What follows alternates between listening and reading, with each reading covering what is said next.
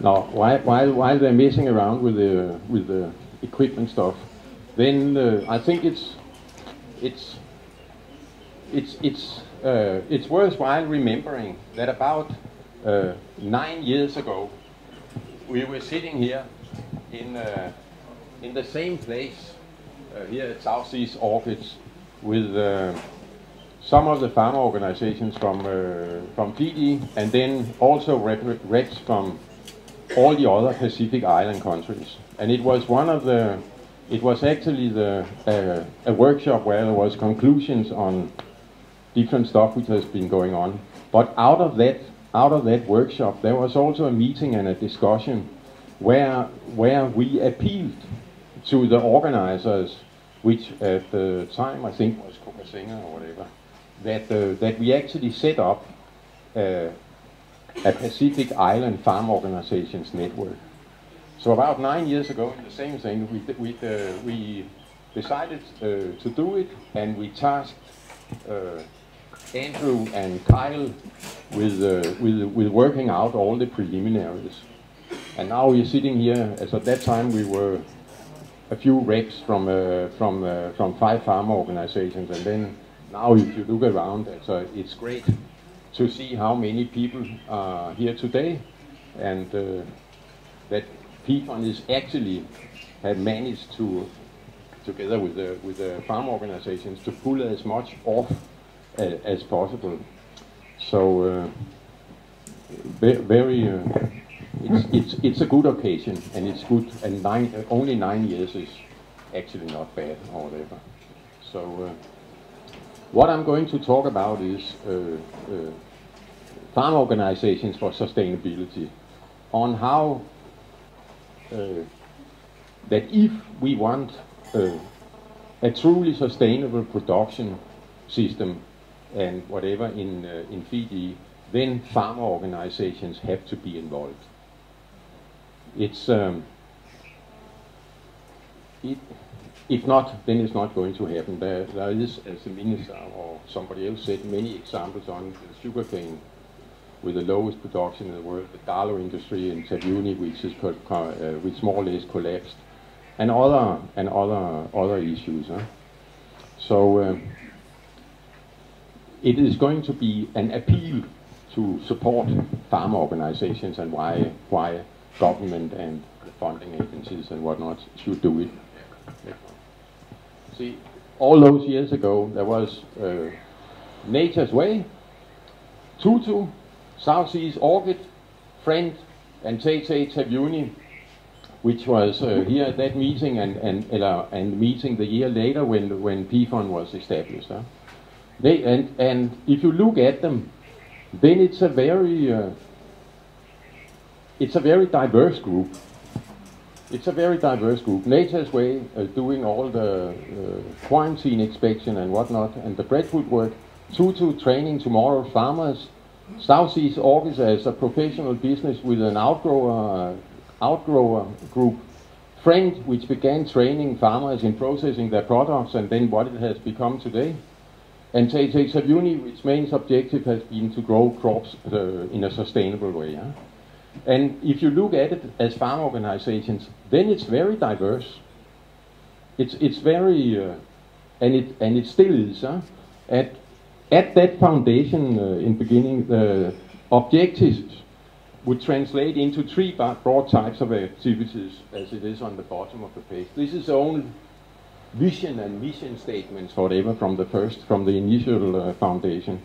It's enhancing viability and sustainable of national FOs. That means actually strengthening the farm organizations and providing practical in, in, uh, information so farmers can actually do what they're supposed to do. And then providing information on how we can grow things sustainable. Uh, I know that this is a COVID uh, uh COVID has just become the headline of, the, of this, uh, this meeting, but it would actually be better if it had been uh, for a, a, matter of how the Fiji farm organizations can do more to develop their own platform. Huh? But these days, everything get hijacked by COVID, so now this one too. Huh? But anyhow, just the next one. uh, you jumped one.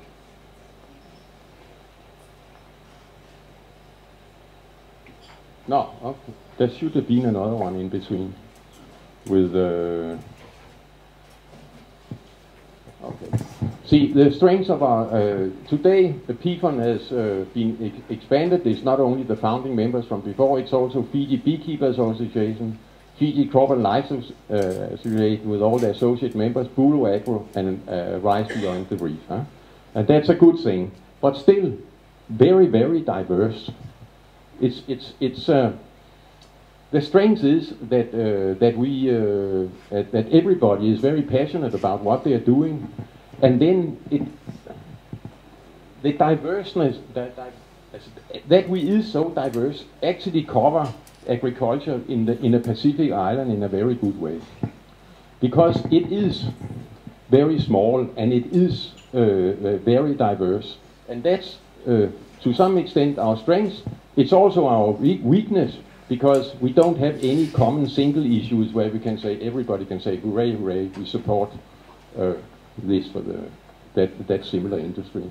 But it's I don't think it should be uh, any other way. As a because we run into uh, problems at different times. As for example when PFON uh, uh, seek money then uh, it comes with four different pillars which you have to uh, uh, live up to.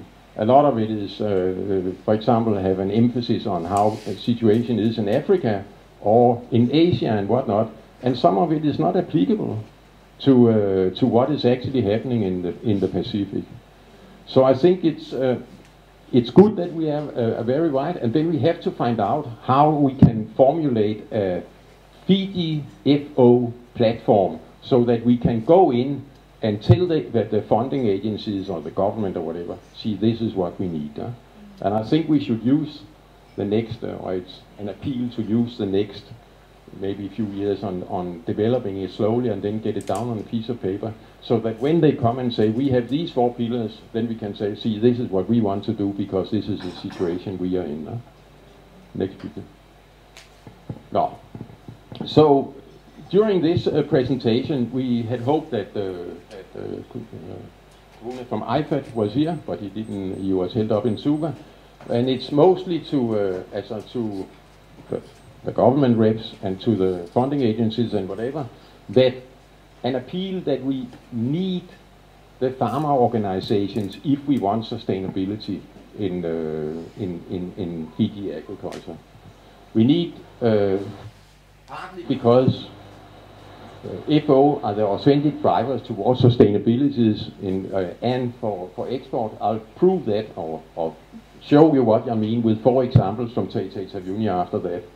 The FO must stay independent of government and political parties to be credible organizations for their members and for the funding agencies. FO must strive towards being fully independent. That's very hard. They should be used as service provider, supported with funding to work independently towards sustainability, and FOs have to become more professional very fast and improve our implementation and improve monitoring and reporting.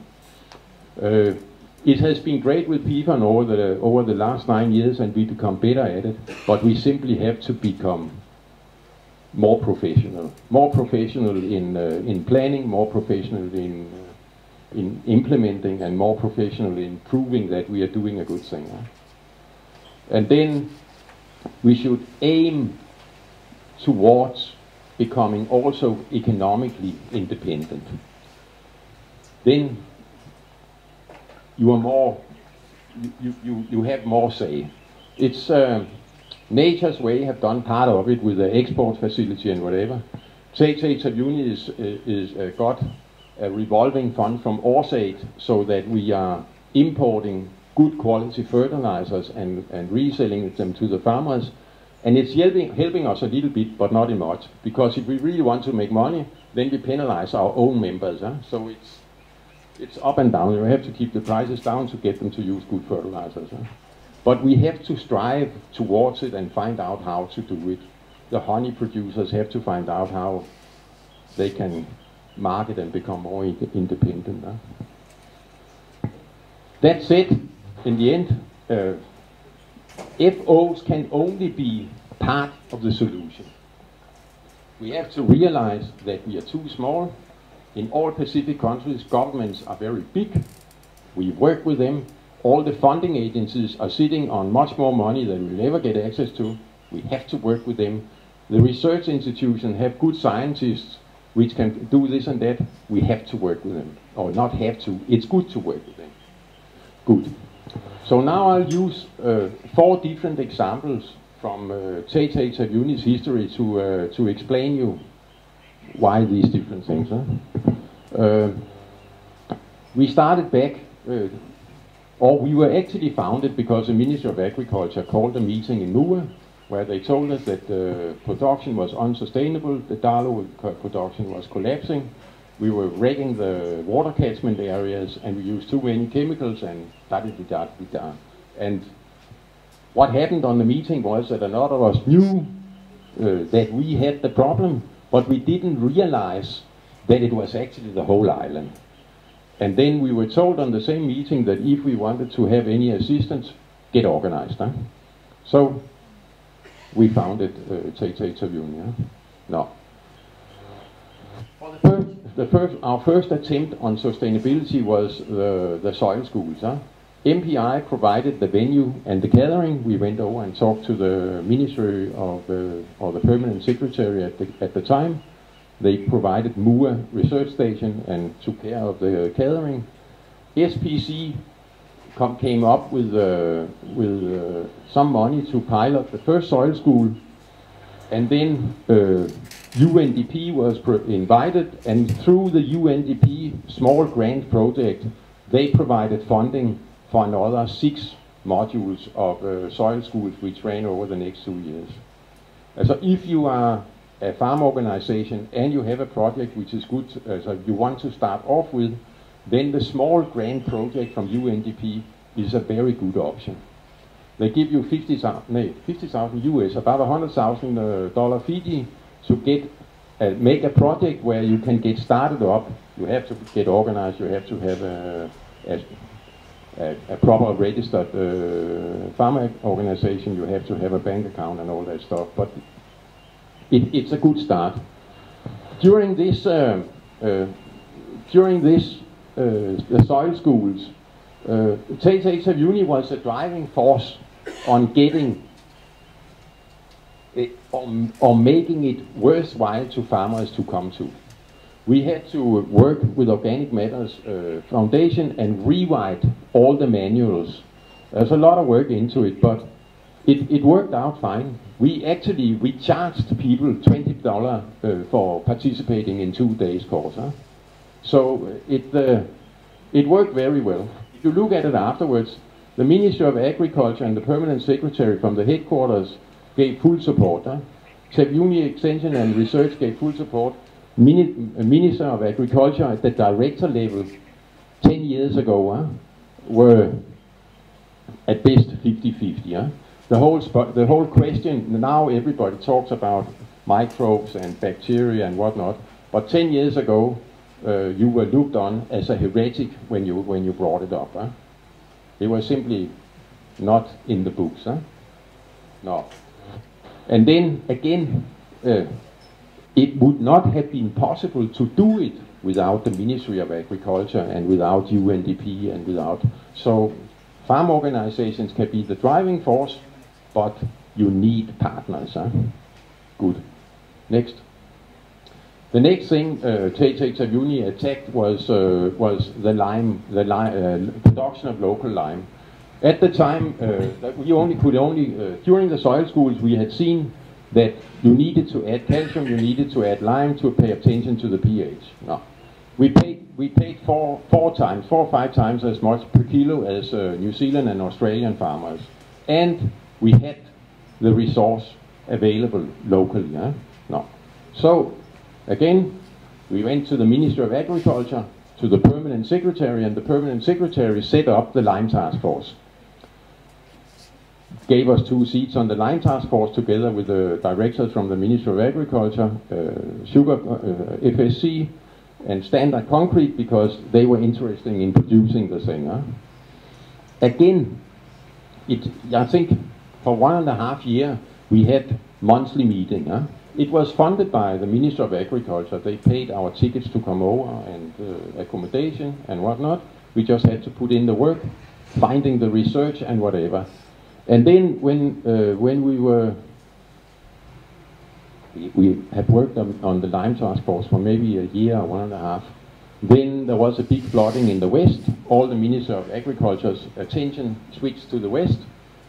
And then we were lucky enough that Market Development Facility, which is AusAid's part of, uh, of aid to the Pacific, had just been established. And we were taken up by the AusAid guy up to uh, MDF and they told us what they had done in Bangladesh with fertilizers, and we told them, why don't you do the lime thing? MDF took it on board,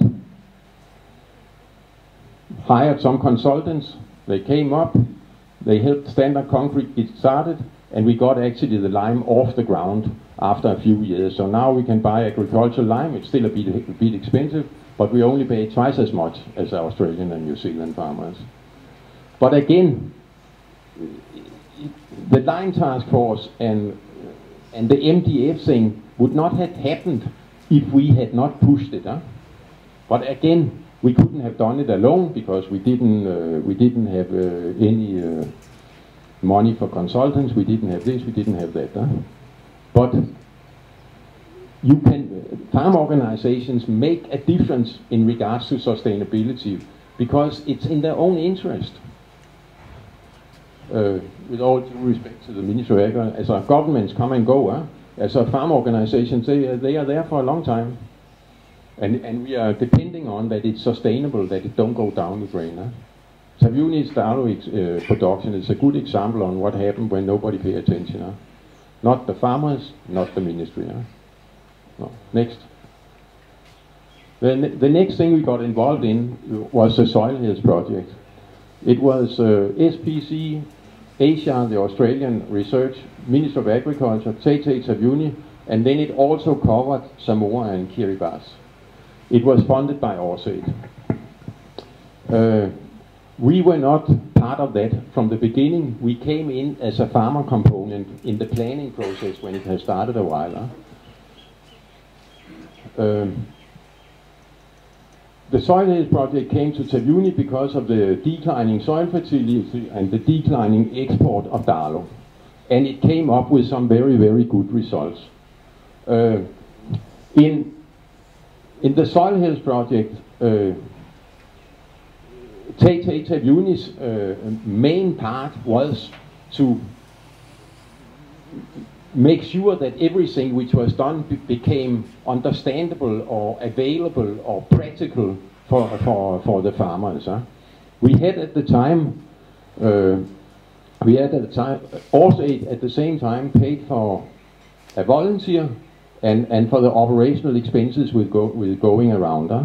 There was lots of trials and then when they had the scientific trials, then our volunteer did smaller trials but around on the different farm groups uh, uh, areas so that they could see what is the difference when you use this fertilizer and this fertilizer and, and, and lime or no lime or, or whatnot. As I simply made, instead of just becoming another report which was going up on a, on a disk, then the øh, uh, TTX of Uni worked to make it available, as altså to make the knowledge available to the farmer by having our AVA volunteer coming around to uh, 40 farm groups one times a month for three years. Huh?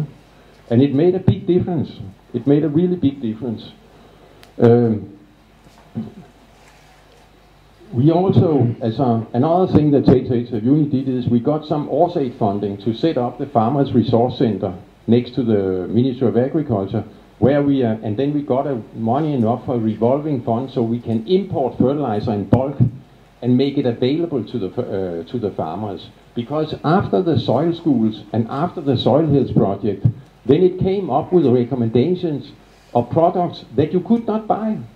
So, so the, the farmers could not uh, uh, actually go and implement what they were supposed to implement. Huh?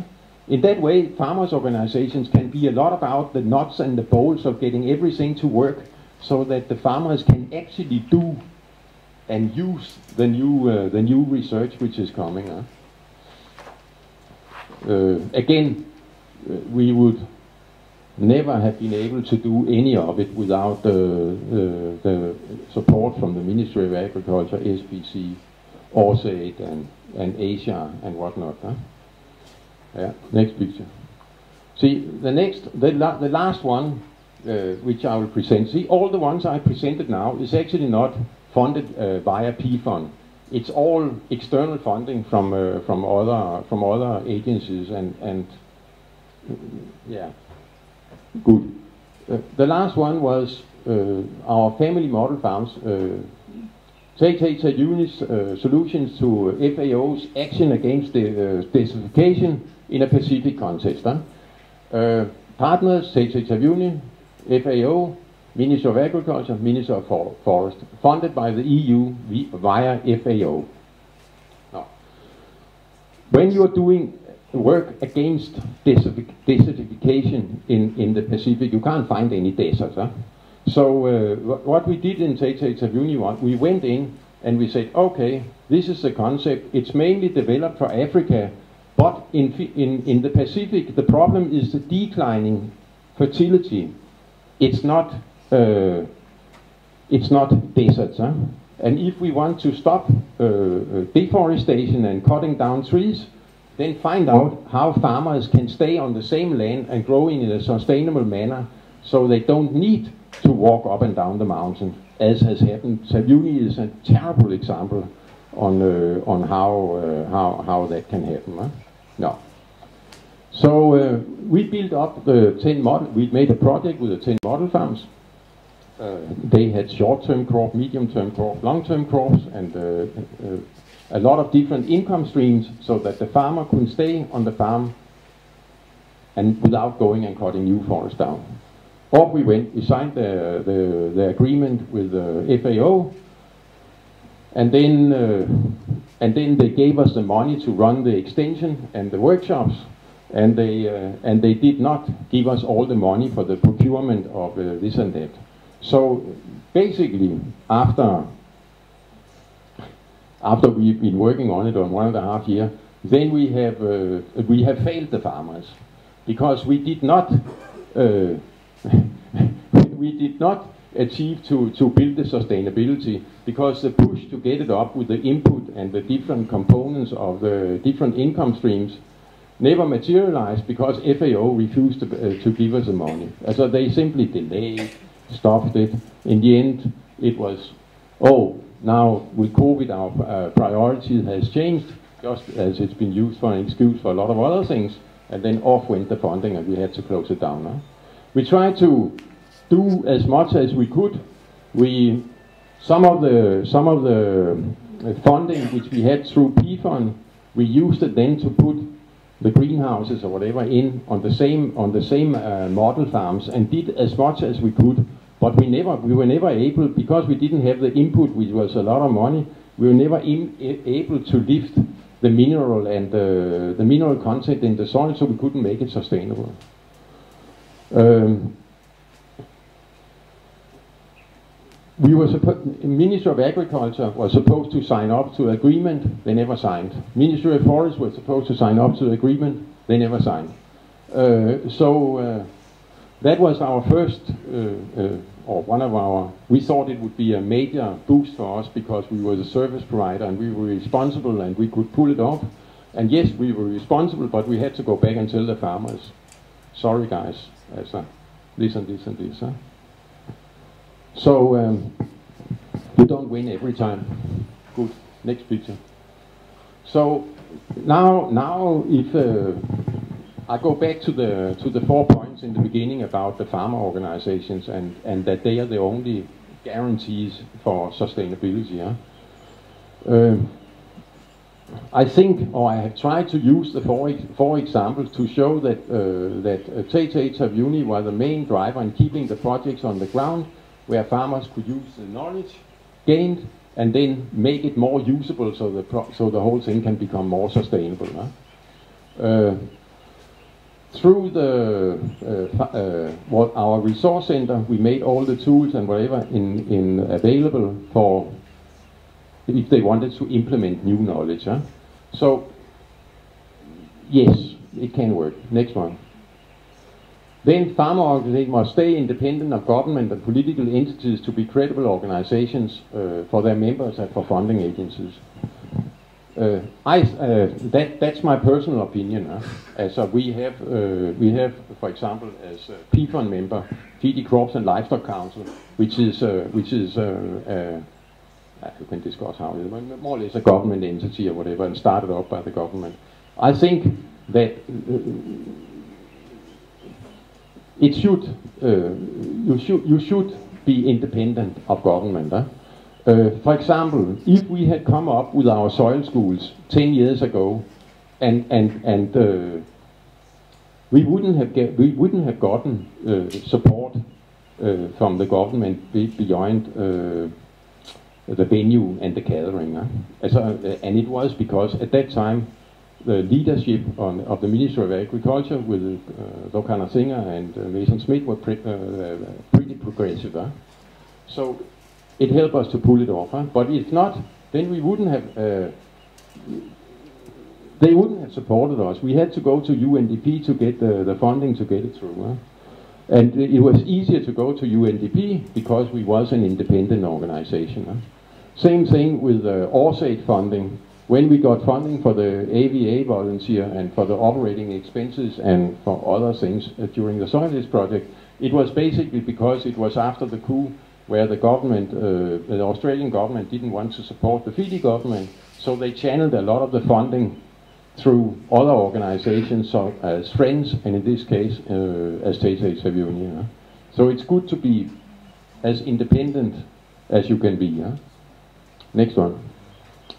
Uh, must try to be fully independent. If you want to be fully independent, then you also have to have your own money.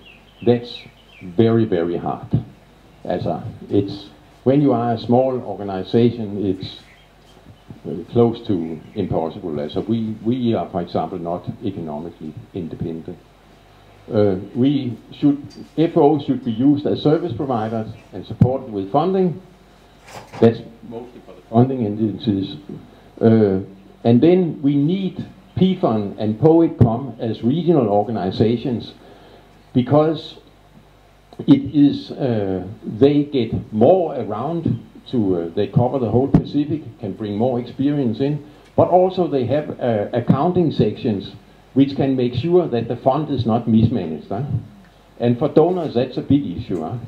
You have to be able to uh, to document whatever it is. Huh? And then the good thing with POETCOM and PFON is that they work directly with the farmers. And I think that uh, as a funding agencies should be advised that it's better to support organizations which is as close to the to the ones which are going to uh, spend the money because then more of it will come to the to, to the actually farm organizations huh? and PFON and, and POETCOM is doing that huh? for FOs we have to become very professional very fast I'll uh, recommend all of you every single farmer organizations to try uh, get registered, get a bank account, start to uh, start to uh, uh to do all these things because then you can access funds, for example, through UNDP small grant projects, and then and then start up. Huh? But you must must take the effort. You can't sit and wait for anybody else uh, to do it for you. Huh? That's also very much for all the as all the single associations within the if if uh, Fiji Crops a life account. I think it's important that they go and get all the, their their their registration done and, and stands for it. It has been done for some. All of it's done now. Okay, good. Last, yeah. That's excellent, but that's a good thing. Then you're already halfway. Yeah? Then you can go and uh, and apply for the funding. Huh? And then. Uh, then you should aim, the different FOs should aim at starting to find out how they can generate own income. Huh? If there's something you are good at, run courses for somebody else. If there's, uh, if you can uh, collectively produce something which you can then sell, and you can agree to give it to your farm organization, then do it. If you, for example, for the honey producers, if you could get funding from somewhere to set up a processing facility so that you could actually increase the, the, the quality, then you would be better off than going to, uh, uh, to the marketing authority, agricultural marketing authority, because then you would be independent. Huh? And the farmers, if the farmers get better price for the honey, because it's better quality and more, uh, uh, yeah, a better product, then then you don't take away from the farmers. You just sell at a higher price, and then the then the organization have an income. Nature's way uh, make money for it. As I said before, Teitei Taveuni have their fertilizer, and we are continuously looking for other stuff.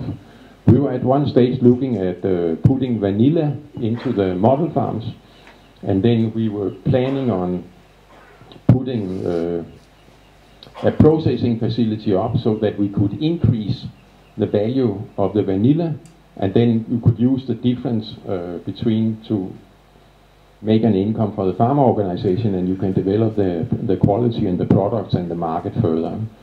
Friends are doing uh, are doing something similar with uh, jams and uh, and different things up, and it's a good thing to do. It's it it gives you an income and it makes you more independent. Huh? Right, the last one I think. Yeah. Then uh, then to the funding agencies. Now there's only one left, but uh, and also to the Ministry of Agriculture. Yeah work together with uh, with the farm organizations, huh? and then uh, because we, we, can contribute to uh, to make it, it, it more sustainable. Huh? And sustainability is a big issue, especially now where, uh, as the Minister of Agriculture said, that production of agriculture production is being pushed. Some people are moving back from the Fluva to the villages. Can, for example, see on Taveuni now you go down to the southern Taveuni, where land which was supposed to lie in fallow going up the hills, it's all planted. All planted. And that means it has not had the necessary fallow. The farmers who come over are not the ones who were growing up uh, in Buna and doing Dalo for the last five years. They come over, they think it's a simple thing, they plant up, they're going to be disappointed with the result, then what's going to happen?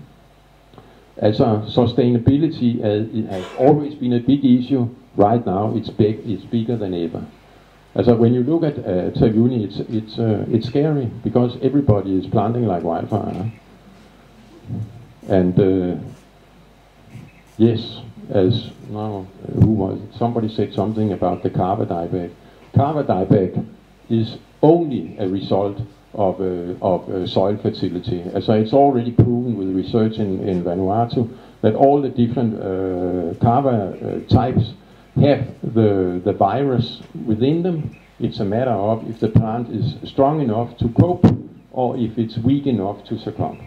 And that means now we have, uh, with uh, when everything is pushed and no breaks, not the right fertilizers, the soil fertility is declining, then all the, the pests and diseases kicks in. And uh, no, I think it was Andrew mentioned, and, and we risk losing the whole damn thing. And it could be fixed. But it's, it's a big issue, especially now. And then uh, again to the funding agencies as